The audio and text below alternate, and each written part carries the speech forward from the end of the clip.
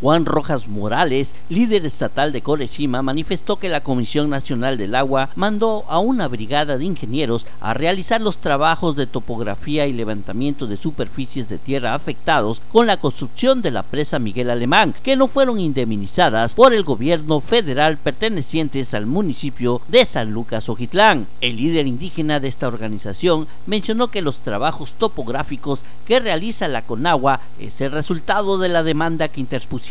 ante el gobierno federal los afectados y desplazados con la construcción de las presas Miguel Alemán y Miguel de la Madrid que salieron afectados con la construcción. Juan Rojas señaló que tuvieron que pasar muchos años desde el decreto de la presa Miguel Alemán de 1953 a 1958 y la Miguel de la Madrid en 1972, donde tanto la Comisión Nacional del Agua y Reforma Agraria no habían reconocido estas afectaciones de los desplazados chinantecos y mazatecos, de los cuales existen más de 100 que tienen rezagos agrarios. Informó Osvaldo Martínez, Oro Pesa.